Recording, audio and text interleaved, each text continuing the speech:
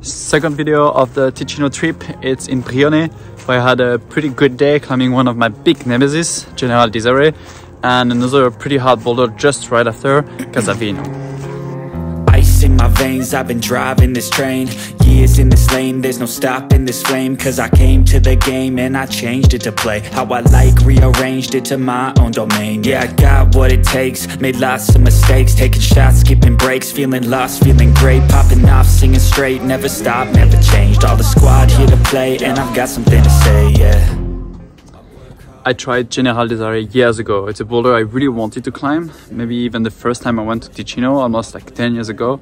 But I could never link the two crux move. And uh, this session was one of my main goal was like to finally finish that boulder. And I had to invest even three sessions being like really focused to climb this uh, like really famous General Dissaray, uh, which is only 8B. But for me, it was like a really big fight and and like really hard. Um, even years ago I was able to do moves separately but I couldn't link them. And I think the hardest part of this boulder is to link the move together. And um, so you start with a few intro moves and then you have this really big move handling to get the perfect pinch. And like for me I have the pinky on the left part on a small spot the index on a small rail and the thumb is really important on the flat part and from there I do a toe hook to just switch my right hand. Uh. really cool move. And then I have to do a really funky like double clutch move to jump with the right hand and turn the left hand at the same times. If I don't turn my left hand I couldn't keep the swing. So I really needed to turn this hand to do the move. I build tall, never capped in space. I won't stop till I hear him say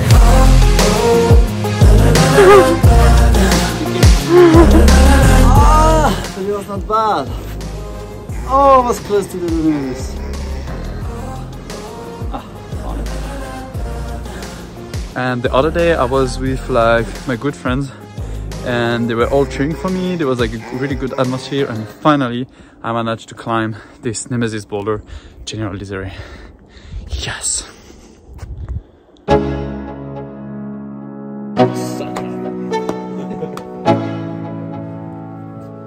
Yo, Come on. I'm like an addict, do I gotta have it? I ain't even playing, got a really bad habit. If it moves, gotta grab it, fuse like a magnet. Lose, won't have it till I'm doomed in a casket. Come on, I ain't playing, got a weird mind. If you work 8 hours, I'ma work 9 If the shit tastes sour, you should taste mine. I'ma stay in power for a long time.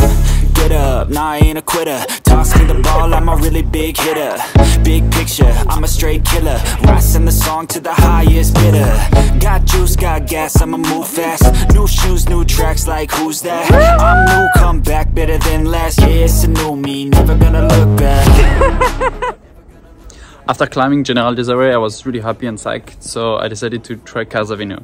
Casavino is a really different type of boulder. Um, General Dissaray is like two move hard to link, and for Casavino it's more like a long boulder 12 moves already something like that. So it's pretty long. So I just brush the hole quickly and try uh, once each crux and yeah it looks pretty okay. So I decided to focus rest and uh, have a really good try. And then the magic happened kind of. I could send it like for my first try um, of the day from the ground. Like often it's you do small mistakes but this time like everything was perfect and I just uh, went move by move to the to the top of the boulder.